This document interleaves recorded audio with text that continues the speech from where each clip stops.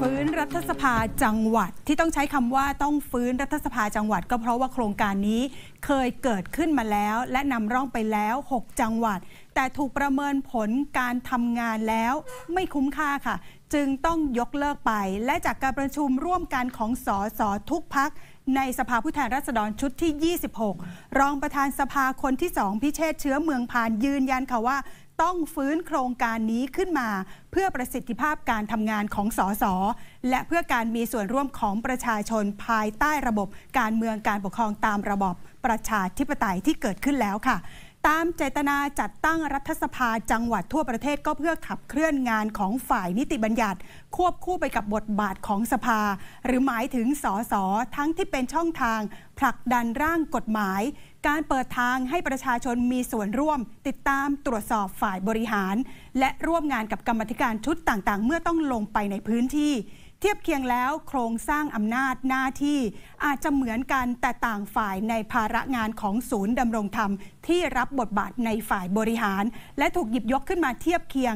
ดังนั้นไม่ใช่การตั้งองค์กรซ้ำซ้อน เพียงเพื่อผลานงบประมาณ ตามที่ถูกกล่าวหาหรือตั้งข้อสังเกตกันขึ้นมาค่ะสภาผู้แทนราษฎรทุกพักนะครับที่มาเป็นสักขีพยานในวันนี้ เราได้ร่วมกันนะครับ คิดที่จะเริ่มต้น ในงบประมาณปี 67 นี้นะครับแล้วก็ปี 68 นะครับเพื่อให้เกิดผลว่าการตอบสนองพี่น้องประชาชนนะครับจะได้มีประสิทธิภาพมากขึ้นนะครับอย่างเช่นการเข้าชื่อนะครับเสนอกฎหมายต่างๆนะครับ ทุกครั้งนี้ยากลำบาก จากนี้ไปถ้ามีรัฐสภาจังหวัดนะครับการเข้าชื่อที่จะเสนอกฎหมายของภาคประชาชนจะได้รวดเร็วขึ้นนะครับ แล้วก็จะได้มี กฎหมายภาคประชาชนมากขึ้น อันนี้ยกตัวอย่างนะครับนั้นก็อยากจะเรียนผู้ที่บอกว่าอ่าสสนะครับไม่เห็นด้วยนะครับ แล้วก็บอกว่าเตรียมการที่จะผ่านงบครั้งใหญ่ไม่ใช่นะครับรองพิเชษชี้แจงเพิ่มเติมด้วยนะคะว่าโครงการจัดตั้งรัฐสภาจังหวัดเมื่อปี 2556 โดยนายสมศักดิ์เกียรติสุรนนท์อดีตประธานรัฐสภาตั้งเป้าหมายจัดตั้งรวม 24 แห่ง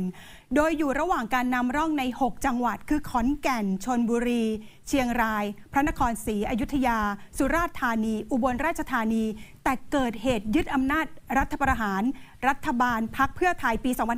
2557 และมีสภานิติบัญญัติแห่งชาติ โดยการจัดตั้งของคอสช ที่มีมติให้ยุบด้วยเหตุผลไม่ผ่านการประเมินเรื่องของความคุ้มค่า ซึ่งไม่ใช่การทุจริตคอร์รัปชันและน่าจะเกี่ยวข้องกับหลักการที่ไม่ใช่ประชาธิปไตยค่ะแล้วบอกว่ามีการทุจริตคอร์รัปชันถ้ามีการทุจริตคอร์รัปชันก็ต้องมีหลักฐานแล้วนะครับว่าทุจริตคอร์รัปชันตรงไหนงบประมาณไหนยังไม่มี นะครับนะครับจากการประเมินก็ว่าไม่คุ้มค่าเท่านั้นเองนะครับทีนี้การประเมินของสอนอชนะครับคณะปฏิวัติตั้งขึ้นมานะครับแล้วก็มาประเมินสภาผู้แทนราษฎร ผมคิดว่าการประเมินครั้งนั้นนะครับเป็นการที่คิดว่าอยู่ในอำนาจเผด็จการมากกว่า จากนี้ไปรองพิเชษประกาศเดินหน้าฟื้นรัฐสภาจังหวัด โดยจะริเริ่มผ่านการจัดตั้งงบประมาณปี 2567 และปี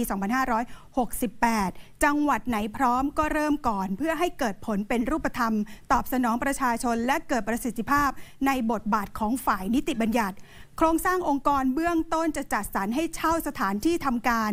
80,000 บาทต่อเดือน ส่วนโครงสร้างบุคคลจะส่งข้าราชการรัฐสภาจากส่วนกลาง ระดับ C8 ลงไปทำงานในพื้นที่ 7 คน ประกอบกับการคิดสัดส่วนสสหรือสวในพื้นที่ 1 คน ให้แต่งตั้งบุคลากรในตำแหน่งผู้ช่วยสสในพื้นที่ได้ 7 คน เข้าทำงานในรัฐสภาจังหวัดค่ะ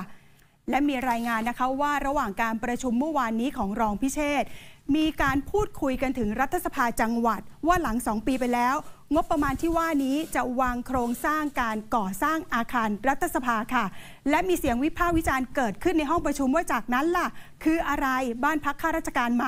ทั้งหมดนี้คือการเบิกจ่ายงบประมาณที่จะสูงขึ้นเรื่อยๆ สวัสดิการก็จะเพิ่มมากขึ้นไปด้วย ว่าแต่ว่าเลือกตั้งผู้ว่า ทั่วประเทศหายไปแล้วนะคะ แล้วก็มีนโยบายเลือกตั้งกลายมาเป็นเลือกของผู้ว่า CEO ซึ่งก็ถูกตั้งคำถามว่านี่คือการรวมศูนย์ หรือการกระจายอำนาจ รวมไปถึงรัฐสภาที่เรามีอยู่แล้วในส่วนกลาง แล้วไปมีรัฐสภาจังหวัด นี่คือรวมศูนย์หรือกระจายอำนาจด้วยค่ะ